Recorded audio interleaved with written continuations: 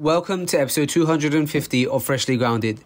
Before we show you the show footage, we just want to mention that we're raising money in this episode for orphan sponsorship with Human Appeal.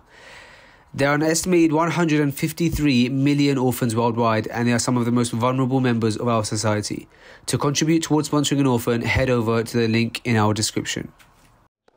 Without further ado, I would like to present to you Mr. Faisal Choudhry. Assalamu alaikum.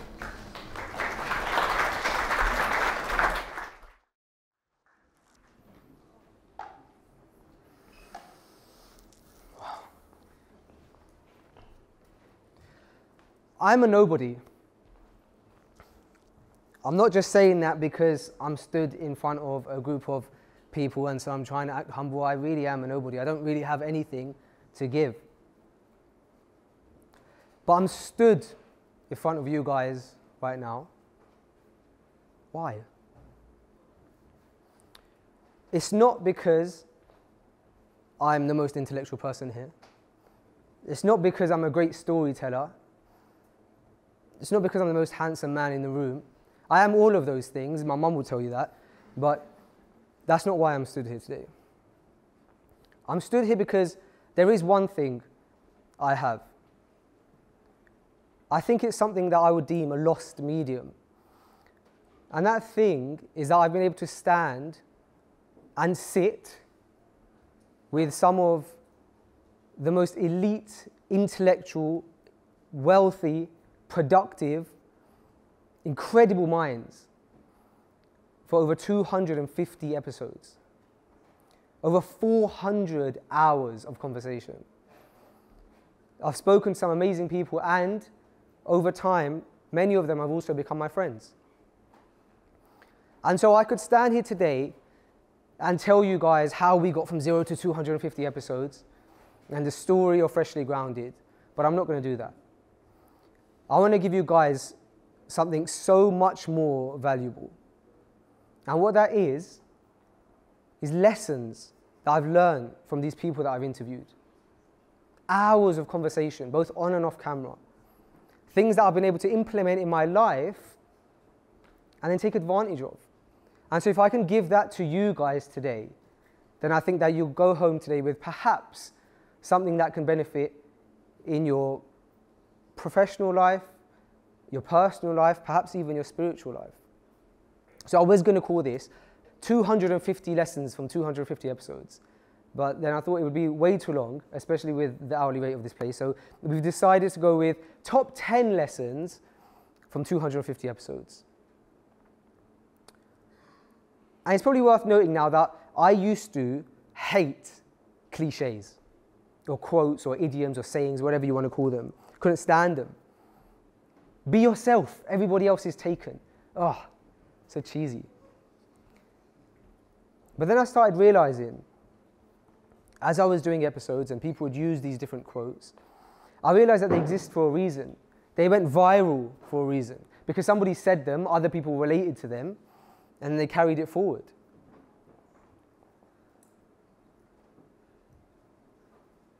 Be the change you wish to see in the world. So true. Just makes you want to kind of carry it forward, doesn't it? It's something that our religion teaches us. If you want to make a change in the world, then you make a change at home and then make a change within yourself, and eventually you impact the world. Something any climate activist will tell you. We can't necessarily stop companies from making cars or people from mass producing in factories or cows from farting, but what we can do is stop and perhaps recycle that ASOS package that we ordered on payday that we're going to inevitably regret on the 20th of the month when we realize we've got 40 pound left in 10 days. And we've all been there. Many of these quotes are things that they just feel so true. Give a man a fish and he'll eat for a day. Teach a man to fish eat for a lifetime. Wow so true there's many others my point is, is that in a complete 180 from my previous self and to prove that you can be wrong, I'm going to be basing my talk today off cliches that I've either read or that have been said to me through these episodes, and I'll be explaining how guests of mine have related to those cliches and how they've changed my perception improved my thinking and inevitably improved my life in some ways. Some of the things I'm going to mention to you guys today genuinely changed my life. It genuinely made me a better person, and I believe made me a better family man. I believe made me better in the professional world, and I believe some of them even made me better spiritually. So I'm hoping that's what you guys can take from it as well. I'm not only going to be sharing lessons though, we're also going to be playing the freshly grounded game. Who here has got or has played the freshly grounded game? Fine, good. Those of you who haven't, you're in luck because we're selling it today, just outside the stage. But also, we'll be playing it today with all of you guys. You guys would have got a ticket number. When you got a ticket, if you don't know your ticket number, you can check on your QR code. Underneath the ticket, there's a number, underneath the QR code. I'm going to be randomly picking a number between 0 and 100, and whoever it lands on will be answering the question. We have audience participation. Everybody seems nervous now.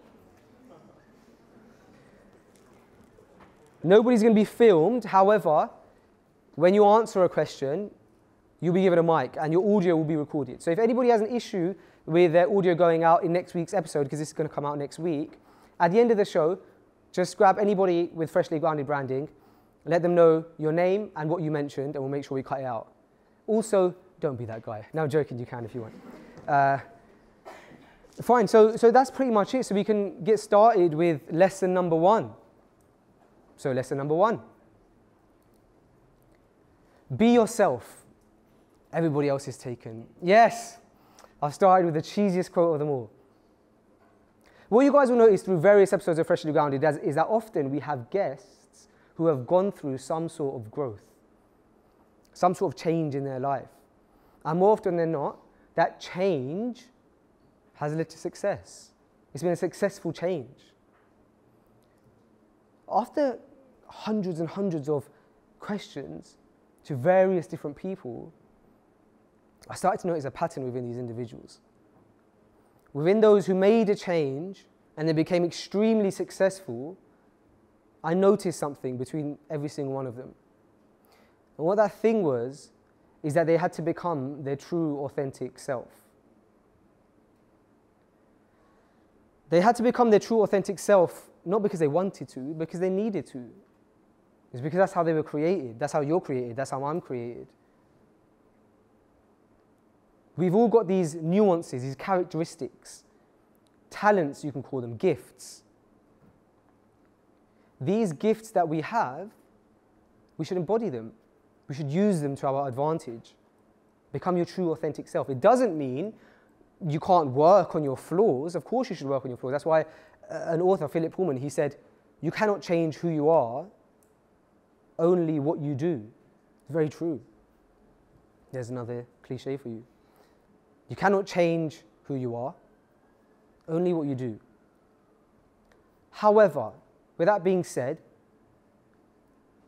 working on the advantages that you have and being as true to yourself as possible will be your biggest advantage in life.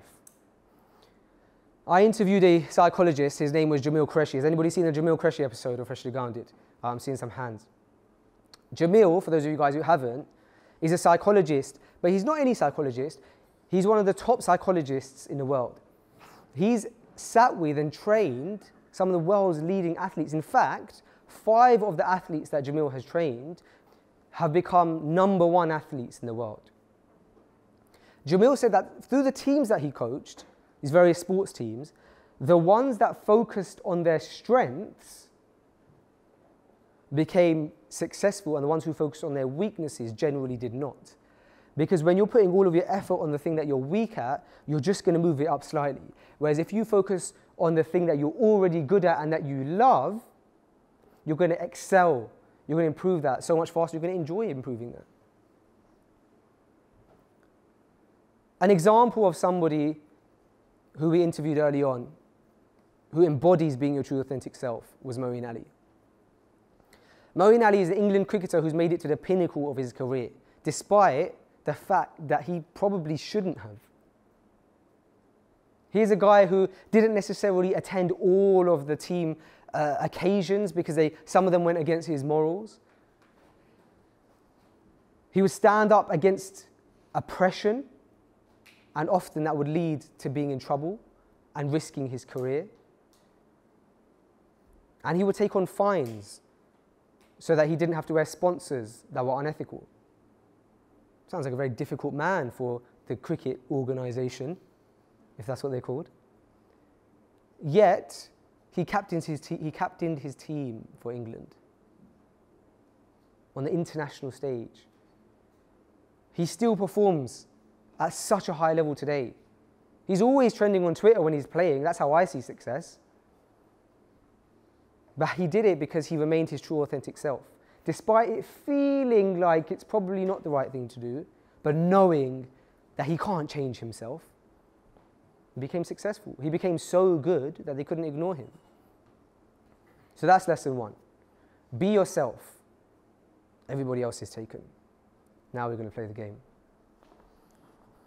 I hope you guys are ready. Lesson number two. If you want to live a top shelf life, you have to stand on the books that you've read. This is a quote by Jim Rohn that I had to learn and implement very early in Freshly Grounded. I'm not much of a reader, I'll be honest. Does anybody remember the Secret Seven or the Famous Five? You read them in like year five and year six. Up until a few years ago, that was probably the most recent book I remember reading. I went through university, I went through my A levels, doing well without reading any books.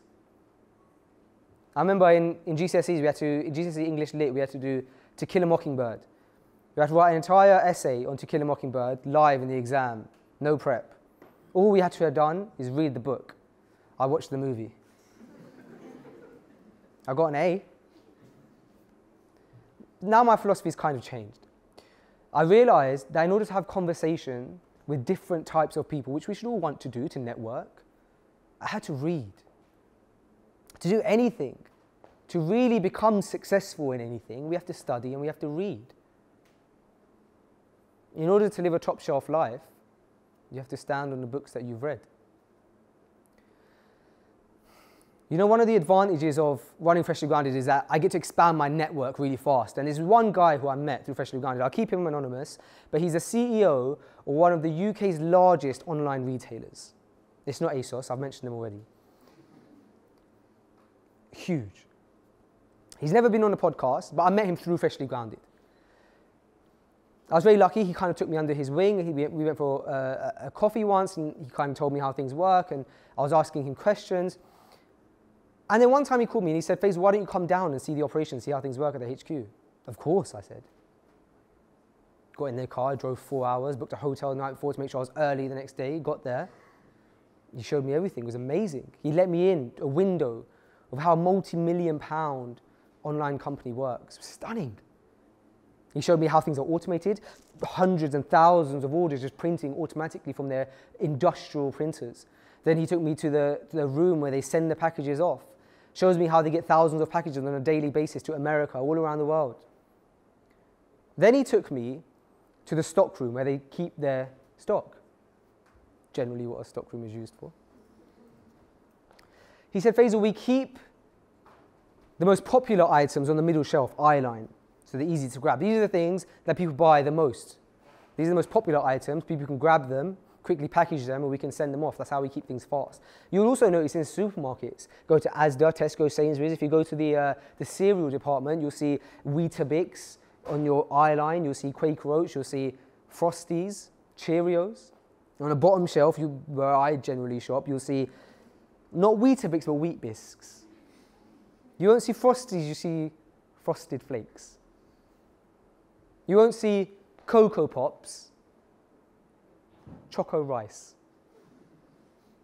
They're fine, they taste the same. That's where you find me generally. And on the top shelf, you find the things that are less popular, people don't really buy as often, but they're more expensive, they're higher value. Only a short percentage of people buy those, but there is a market for them. That's the top shelf. If you want to live a top shelf life, you have to stand on the books that you have read. This was embodied in episode 190 of Freshly Grounded, when I did an interview with a brother called Muhammad Abdurrahman. Muhammad Abdurrahman was a man who wanted to go to Cambridge University, the epitome of a top shelf life. Sadly, he didn't get in.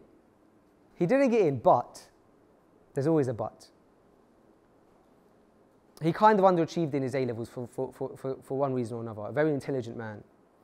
He got into another university, which was also a great university, by the way. When he didn't get into Cambridge, which was his goal, what he decided to do was, of course, make dua, but get his head in the books and study. And then once he finished his degree, he applied to Cambridge for postgrad. Not only did he get accepted into Cambridge, but he got accepted on a free, paid for scholarship. They paid for everything. He got his head in the books, he started reading, increased his knowledge, and he fought for his way. If you want to live a top shelf life, you have to stand on the books that you've read. That is lesson number two. Now, point number three is one. This is the first of the points that I've, that I've mentioned that genuinely changed my life.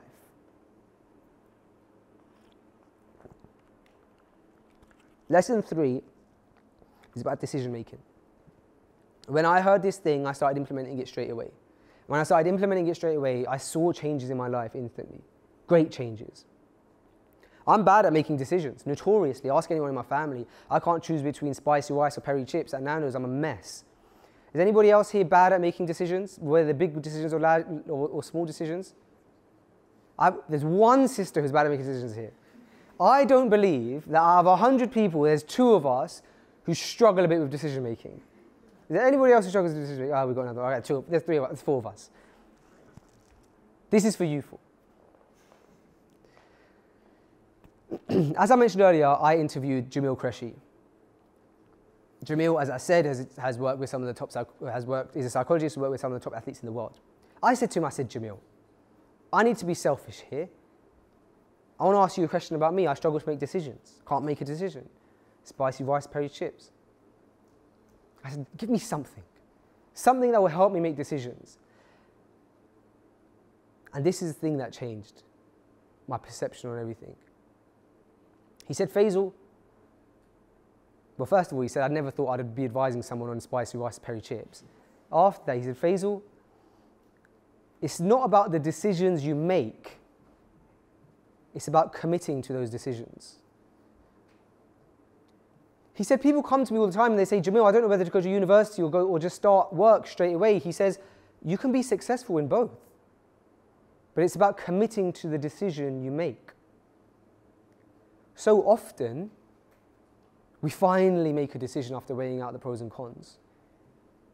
And then the grass is always green on the other side. We're so busy after we made that decision thinking, what if I made the other decision? We're not fully committed to that decision. If you want to be successful, after making a decision, stick to the decision. We have to commit to the decisions that we make. It's not about making a decision, it's about committing to those decisions. That is a lesson from Jamil Qureshi. This is my last one from Jamil Qureshi. I'm going to I'm gonna make it a bit uh, different. I'm going to mix it up. That was lesson three. We'll move on to point number four. Point number four a person's name to that person is the sweetest sound in any language. This is a lesson from Dale Carnegie's famous book, how to Win Friends and Influence People. Now, of course, I didn't get that quote from Dale Carnegie directly. I think that ship sailed when he died in 1955. But it's changed how I conversate drastically. By using people's names, Harun, you get their attention. Also, by using people's names, they listen to you and they like you. Don't get any ideas, brothers. They like you more. But it's hard to use people's names, it's hard to remember people's names. I, for one, forget how to use people's names. If you start using their names in conversation, it's a great conversation hack to get people to like you. A technique that I use, that I think Dale actually spoke about in his book, is repetition.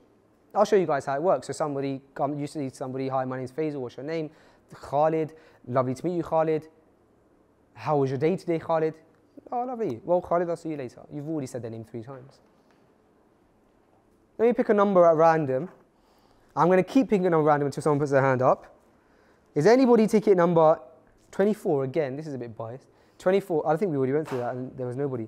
Let's number 66, 87. 87. Do we have an 87? I think we have a hand up. 87. What's your name? Can you what? Sorry? Wiley. Wiley. Lovely to meet you, Wiley. How was your journey here today? And Wiley, did you come in public transport or did you come by car? You came by car. Mm, lovely. Luxurious. Came to central London in a car. I'm going to pick another number, Wiley. Number number 15. Do you have a number 15? Do you have a number 15? Number 15, yeah? Wiley, I want you to ask number 15. Sorry? wiley wiley Wally. I was thinking, like. Thought he got arrested a few weeks ago or something. I was going with it. This is not a great task for trying to talk. I'm talking about names here. Whirly. Okay. Like a whirly, like to get married. Okay. Not you, obviously. Uh, Whirly, I want you to ask number 15 his name, and, and when he tells you his name, I want you to repeat his name back to him. Can you do that for me? Harris, Whirly, Whirly, uh, Faisal. We all know each other now. I'm going to come back to you guys at the end of the talk, and hopefully we'll remember each other's names because we repeated them. A bit of repetition. Remember, remember everyone's names. Yeah, Harris, Whirly. I still feel like I'm saying it wrong, but we're going to go with it. We're going to remember that. That is lesson four. Lesson four is a person's name to that person is the sweetest sound in any language. Was that lesson three or four? That was four. It's written down. Lesson five. Lesson five also really impacted me. I know I just said this about lesson three, which was the decision making one, but three and five are my top ones. Lesson five is about taking the next step, right? It's about how to overcome feeling overwhelmed. There's an episode of the podcast that I did with a guy called Ricky Nuttall. Anybody see the Ricky Nuttall episode? Two people. Now, I'm starting to wonder if you guys are actually freshly grounded audience members.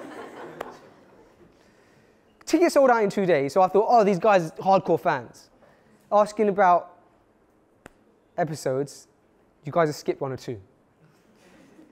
Don't worry, I'm going to brief you. I was prepared for it. So, Ricky Nuttall, you have to watch this episode. Ricky Nuttall was one of the 250 firefighters who attended Grenfell Tower. A day that all of us remember being in London, and one that I'm sure affected many of us, or at least some of our friends and family, in a really personal way. Ricky dealt with a lot of PTSD after, he had to go for therapy, but he managed to eventually get back on his feet. He had suicidal thoughts, managed to eventually get back on his feet. I said to Ricky, Ricky, what do you do when you're feeling overwhelmed? You've a big task, it feels like a mountain. How do you overcome that? I'm sure that's a problem that a lot of us have faced, right? Ricky said, Faisal, I've read a book. It's called The Horse, the Boy, the Fox, and the Mole. And he said it's written like a children's book. It's like an illustration book, but actually, it's for adults. And they use it in leadership meetings to teach. And he said there's a part in the book in which there's a boy and a horse, and in the forest. And the boy says to the horse, I can't see where I'm going. And the horse says, Well, do you see your next step? The boy says, Yes. The horse says, Well, then just take that. Just take that. Sometimes we feel so overwhelmed by the task that we have that we forget that you only have to focus on the next step sometimes. Just take the next step. There's a reason why people often speak about ladders in like motivational talks and about how the rungs or the steps of a ladder are so important because you can't get from the bottom to the top without using the steps. It's true. So next time you feel overwhelmed, remember the episode with Ricky, you two. Everyone else watched the episode with Ricky. And then remember what he said. Sometimes just take the next step. That's five points. They're five lessons. What was anybody's favorite lesson out of those five so far? Do we have a favorite? You can shout out. You're a very quiet audience today. Using people's great. Both of you guys said that. Wow. Taking the first step. Number three. You don't even remember the point. three? Number three was uh, decisions, sticking to your decisions. Yeah, that's my favorite too. Lesson number six was from one of my favorite guests. I think I may have already said that five times on the other points. This man, I kind of seem like a mentor. He's an amazing public speaker. I've had many private conversations with him that have left me floored by his intellect, by his confidence, his self awareness, his ability to lead. Hamza Tzortzis. We've had Hamza on the podcast, I think, twice now.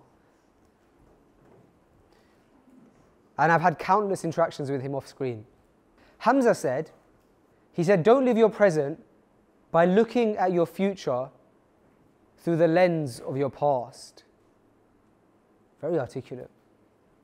Don't live your present by looking at your future through the lens of your past. What he means here, obviously, is that we have very limited experiences in life. I'm only 27. I can see there's people here younger than me. I can see there's people here older than me. Thanks for coming out, Dad. only slightly older than me. The point is, is that we've only lived so much, right? If we based everything we did or everything we want to do on the experiences on our past, then our goals for our future would be incredibly limited. We have to, to some extent, dream. We must dream. And that's what Hamza talks about. You have to be able to look at others and say, that's achievable for me. Or don't look at anyone, just blue sky thinking. Think of something something you want to achieve, a place you want to go, and say, well, of course. Of course I can. Why not? Just whatever you do, don't limit yourself by looking at your future only through the lens of your past. a person who's done this immaculately. Arnaut Danjuma. We've interviewed him twice now on the podcast, Freshly Grounded. Danjuma is a professional footballer. But a lot of you may not know his story. I've been lucky enough to go for dinners and coffees and ask him about his life. What I found out is that Danjuma's had a life of hardship. In fact, he's a secret that I think nobody knows. If you watch any of his matches, you'll notice that he does the snake celebration. I know you've clocked the snake celebration. Do you know why he does the snake celebration? I'll tell you, I'll tell you now. Tell all of you. But this one's for you, Zach. He does that celebration because he has a friend.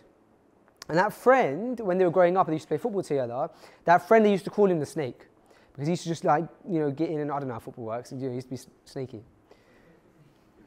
He just slither, you know, between the plays and stuff. That's not the point. They called him the snake. This friend, after their matches, would uh, buy Danjuma his food. And so, in dedication to him, he was there for him when he had nothing. He celebrates by doing the snake. What an amazing, heartwarming story. But anyway, we're talking about the point here about not looking at the future through the lens of your past. So, this was Danjuma's past. And if he just lived his life with a lens of the past, knowing that life can be tough and hard, and knowing that his parents had it rough sometimes, maybe he wouldn't have dreamed. Maybe he wouldn't have dreamed. A few weeks ago, Danjuma got signed to Villarreal, one of the best teams in the Spanish league, for 25 million euros. He dreamed. In fact, in a few days' time, he's coming back to the UK. He's going to be playing Man United. He's going to be playing against Ronaldo. I'll let you guys into a secret that nobody yet knows, but this is airing after the event, so after the match, so it's safe to say. BT Sport flew over to Spain. They did a big interview with him. They're going to feature him 10 minutes before the match. It's going to be Ronaldo versus Danjuma. Can you believe that? He dared to dream. Look at where he ended up. Don't forget to dream. Lesson number six don't live your present looking at your future through the lens of your past. Lesson number seven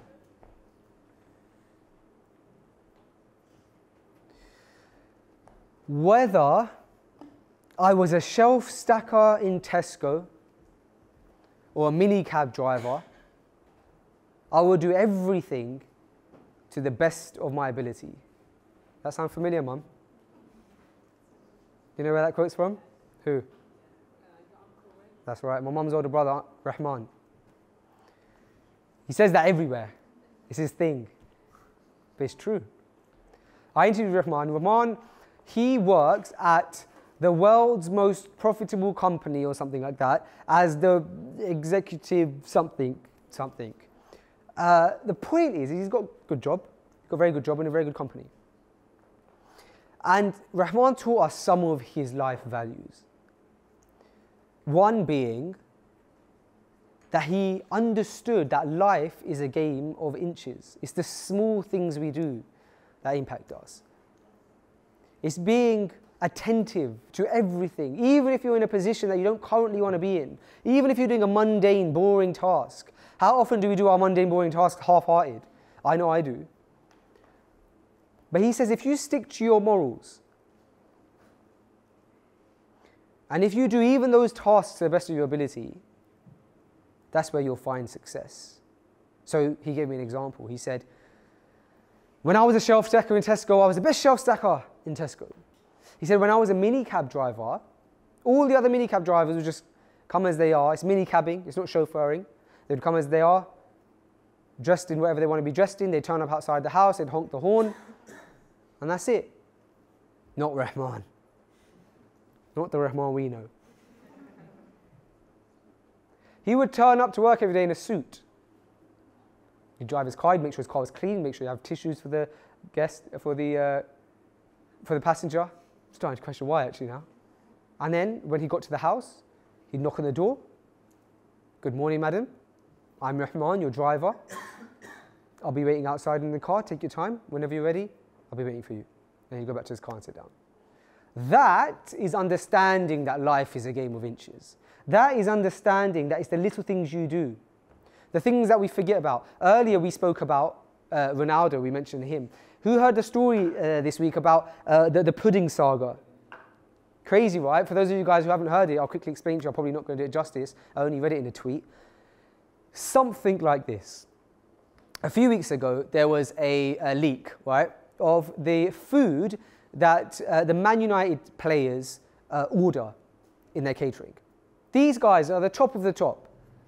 The, the, the, the first team for Manchester United arguably the most well known and famous team in the world.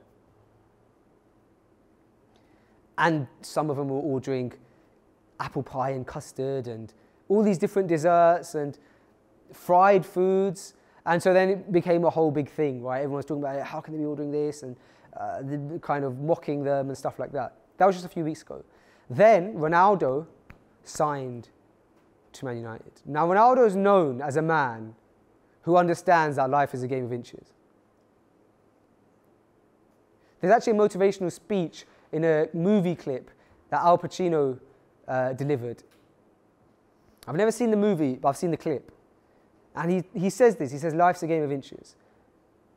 I think it was maybe a true story. It was like uh, their team were facing another team, and then they were bound to lose. Anyway, they won, right, based on that philosophy. Ronaldo is renowned for that. He's known to be a guy who focuses on the little things. He's incredibly disciplined. Because of that, he takes care of everything kind of individually, right? And so his dessert, he will never have dessert. And so when he signed to Man United on the first day or one of the first days that they went there to catering, he went and he didn't get dessert. Do you know what the effect of that was? Nobody got dessert. Because Ronaldo didn't get dessert, so nobody got dessert. That's the impact that you can have when you live like that, when you understand that life is a game of inches. Like Rahman, you can go from a cab driver to working for the most profitable company in the world. Like Ronaldo, you can go from wherever he started to wherever he is. I don't know much about Ronaldo, but I know that he's not doing too shabby. That is lesson number seven. Lesson number seven was life is a game of inches. Master the small things. That's how you be successful. In fact, actually, Rahman gave us a bonus uh, little gem in that episode, which I'll mention. He said that everybody goes through peaks and troughs. We all have hard days. But it's not about having a dip. It's about how fast you can come out of it. It's okay to have a dip, but it's about how fast you come out of the dip. He said some people, something bad happens to them. Earlier today, I lost my script. Genuinely, I lost this piece of paper. I'll tell you the story. I, went, I put these in my camera bag when I left the hotel, right at the top of the camera bag. I gave the camera bag to the camera crew. Camera bag, camera crew. Seems like the right thing to do. The camera crew were in the camera bag, and I was looking in the camera bag, and I said, "Oh, my script was here. It's the only version that I have. It was right here." Camera crew said, "I said, have you seen the cards?" Camera crew said, "We're looking for the cards as well." I said, "Without the cards, I don't think I'm going to be able to deliver the talk. I'm not feeling that prepared. I need to go over my notes." Camera crew said, "We're looking for the cards." They said, "We can't film without the cards." I'm getting confused. Can't film without the cards. Anyway, I ignored what they said. I went to my car, tried, looked for the cards, couldn't find the cards in the car, came back. I said to Kareem, Kareem's my, Kareem's my go to. I said, Kareem, I don't have the cards. What are we going to do? Uh, is there a printer here? Can we print the cards? Can we make new cards? Kareem's there trying to rush, find a printer. In the meantime, one of the cameramen comes up to me. I'll out him, Eamon. Don't know where you are, can't see you. I know you're there somewhere. Eamon says, where did you put the SD cards? SD cards are the cards you put inside the camera. I said, hey, I'm not looking for the SD cards, I'm looking for presenting cards. He goes, oh. I know where they are. I took them out. So uh, things can go wrong. And I dipped at that moment. I didn't know if I was going to come out of it, but alhamdulillah I did because I had the cards. The point is, if you do go for a dip, try and come out of it fast. Lesson number eight from the podcast is a lesson that I learned from a book.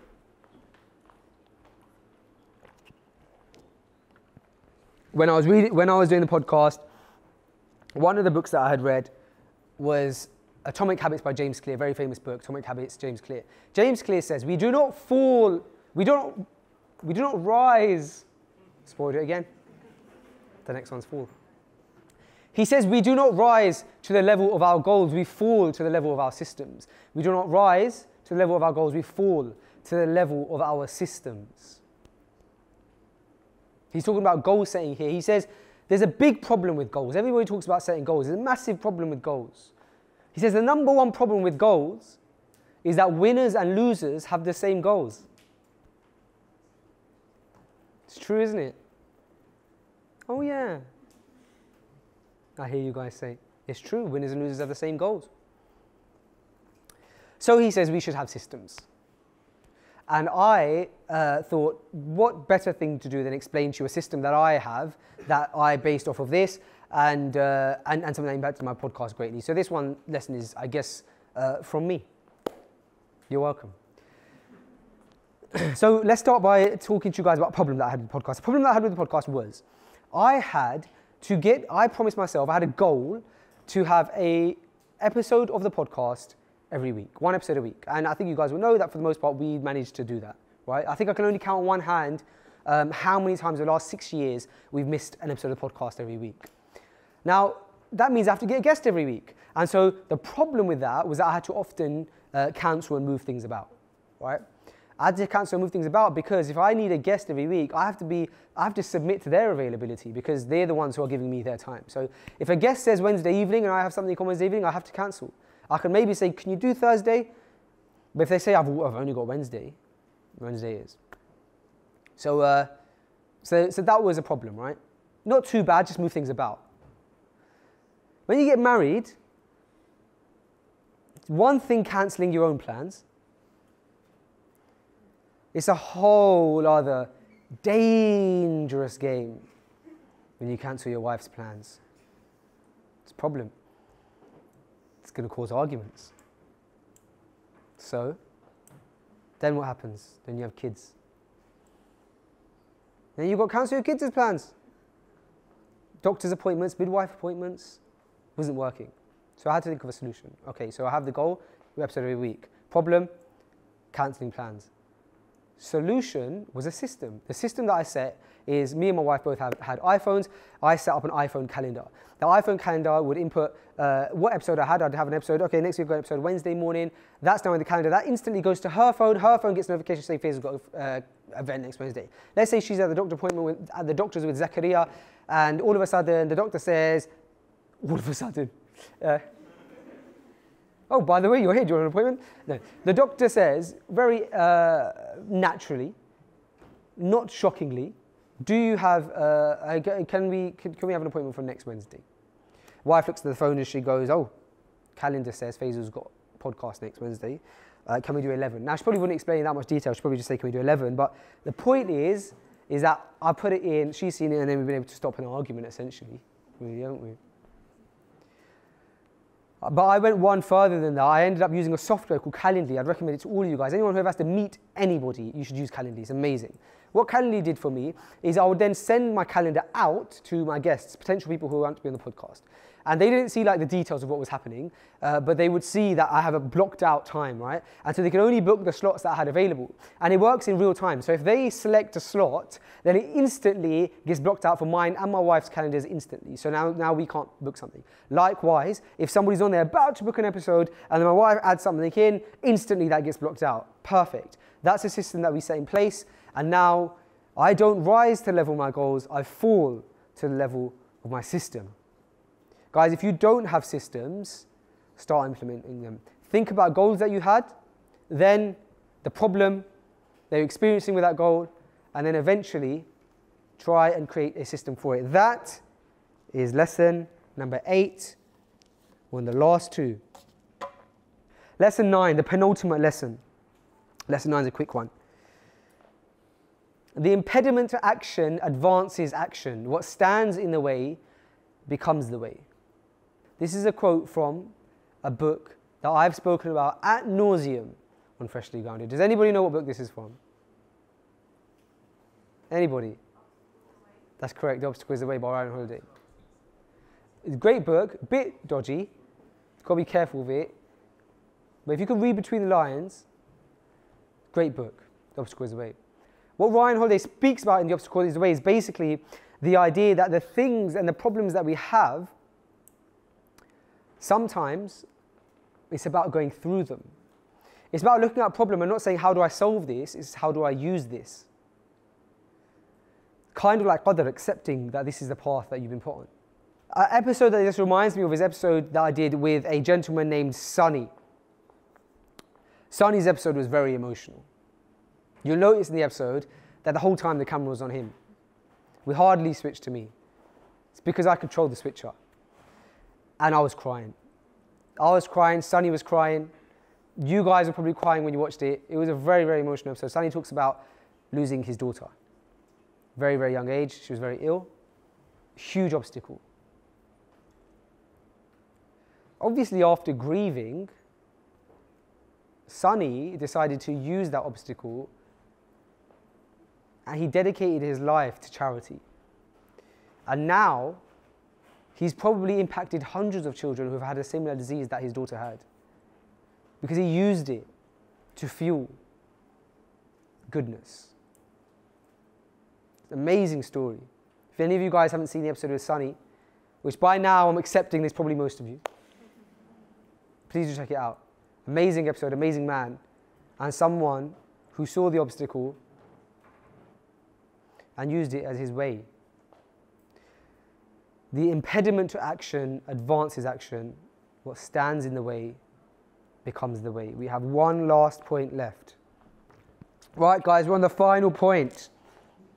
Lesson number 10. Lesson number 10 is I don't want avocado and quinoa, I want pizza. That's the lesson. Lesson number 10 comes from Adam Afghan. My funniest guest Freshly Grounded and funniest, I love Adam. I love the episodes with him. He's an absolute gem to be around. So much energy, so much happiness. And the point of the discussion was something useless. It was, we were talking about uh, healthy food options or something, and, and that sometimes these healthy food options aren't the tastiest, and sometimes you don't want avocado and quinoa, you just want pizza, and that's fine. The point, though, the lesson in that is quite valuable. The lesson in that is sometimes, sometimes you know best. Sometimes, even though there might be long term damage in something when you use it over time, there's not a huge long term damage if you just have a slice of pizza, you know? yeah, it's probably not great for your health, but it's not too bad for your mental health. A little pizza every now and again. The point is that sometimes you know what you want and you know what's good for you. Sometimes we seek too much reassurance from other people. That's not always ideal. I know I do it. I'm the worst at doing it. I ask everybody their opinion, then I make my decision. Everybody. I ask too many people sometimes I should listen to my gut. Henry Ford, the guy who literally invented mass production of automobiles, he said, if I asked people what they wanted, they would have said a faster horse.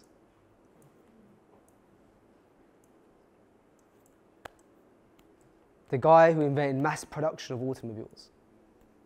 Sometimes you know what's right. And it kind of relates to us in Freshly Grounded as well. We're 250 episodes in. This is the 250th episode. You guys have sat very patiently and listen to all of the value that hopefully I've been able to provide. I hope you guys got some value from it. And the truth is, is that we kind of just blagged our way here. 250 episodes in, 400 hours of conversation, six years, five years that we put into it. It wasn't always easy, and not everyone really understood it. I had to make a decision at one point to leave my job. I was only working in retail, but it was security. And I thought, I'm going to leave my job and start a podcast. At this point, podcasts weren't really a thing in the UK. And uh, alhamdulillah, I have very understanding parents. So I didn't feel any pressure from my parents. My parents say, do what you want to do, just apply yourself. But from others, you know, you feel like, am I doing the right thing? leaving a job, starting this thing, similar situation to Rahel. And other things that we had when I started the podcast, like, for example, doing live events. We wanted to do live events, and I really didn't like how live events were done, right? I couldn't stand it, um, like generally in our scene.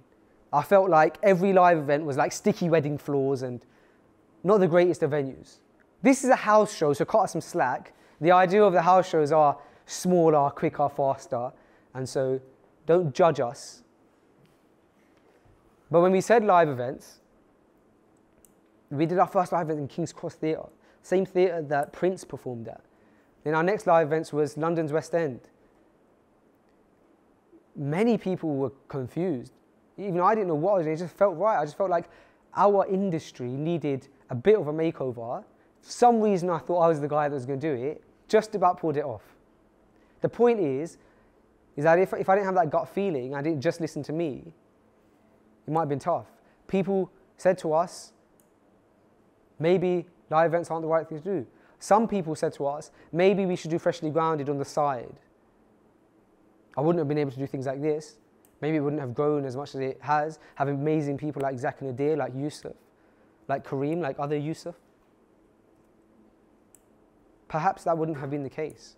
Many people said to us many different things. But maybe not externally, but internally. Do you know what I said to them? Said, I don't want avocado and quinoa. I want pizza. Thank you very much.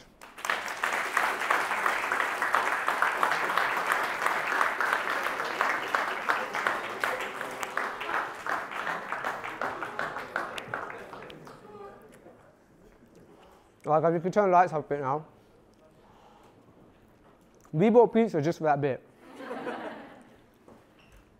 That's stale and it's cold. All right, guys, look. We have the venue for a bit longer, but we've also gone over. We didn't prepare for this. We thought if anything we'd go under, but I'm. I'm looking at Kareem in the eye. I'm saying, are we doing a Q&A or not? Would, if anybody has to catch the last train or something like that, I won't be offended. Otherwise, how long should we say? 10 minutes? 15 minutes?